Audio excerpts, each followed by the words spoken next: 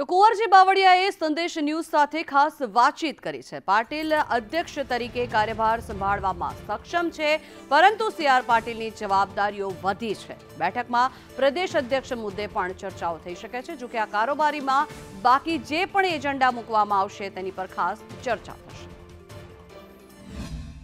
શ્રી કુંવરજી બાવળિયા છે, તે આપણી સાથે છે તેની સાથે વાત કરીશું. કુંવરજીભાઈ, આ કારોબારી બેઠક કેટલી મહત્વની? લોકસભાની ચૂંટણીઓ પછી ગુજરાત, ભારતીય જનતા પક્ષના પ્રદેશની બૃહદ કાર્યકારીની બેઠક મળી રહી છે. આ કારોબારીની બેઠકમાં એક તો ગઈ ચૂંટણીઓ વખતની પરિણામોની પણ અને ચૂંટણીલક્ષી પણ બધી સમીક્ષા થશે.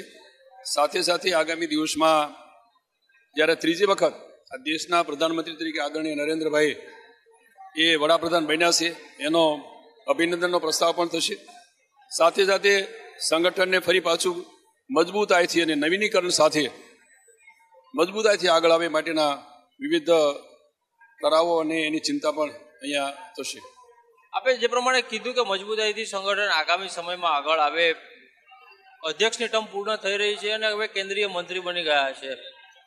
લાગે છે કે જ્યાં નવું સંગઠનની રચના માટે થઈને સંગઠન પર્વ યોજાનાર છે તે અને પ્રમુખને લઈને આ તમામ મુદ્દે ચર્ચા થશે. આદરણીય સી આર પાટીલજી, જ્યારે નરેન્દ્રભાઈના મંત્રીમંડળમાં એમનું સ્થાન સ્થાન પામ્યા ત્યારે સ્વાભાવિક છે કે અહીંયા જ્યારે પ્રદેશની જવાબદારી સંભાળતા અને સંભાળી શકે એમ છે, પણ તેમ છતાંય શક્ય છે કે એવો પણ આ જવાબદારી અંગે આજની આ બેઠકમાં ચર્ચાઓ થાય. બીજી એક બાબત એ પણ છે, કુંવરજીભાઈ, કે સ્થાનિક સ્વરાજ્યની ચૂંટણી આવનાર છે આગામી સમયમાં, તેને લઈ અને કાર્યકર્તાઓને કોઈ ચોક્કસ માર્ગદર્શન આપવામાં આવશે? આ એ અંગેની પણ ચર્ચાઓ થશે. બાકી તો એજન્ડા જે રીતે પ્રદેશ અધ્યક્ષ માન્ય પ્રદેશ અધ્યક્ષ મૂકે એ પ્રમાણે આગળની ચર્ચાઓ થશે.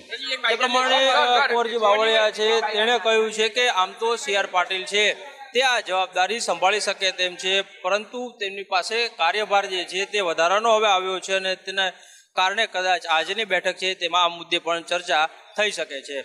કેમેરામેન ચેતન પરમાર સાથે કશ્યપ જોશી, સંદેશ ન્યૂઝ, સાળંગપુર.